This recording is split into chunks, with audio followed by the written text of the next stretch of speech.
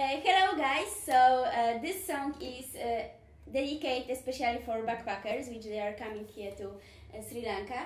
So if you want to catch the hearts of Sri Lankan people, you should learn this.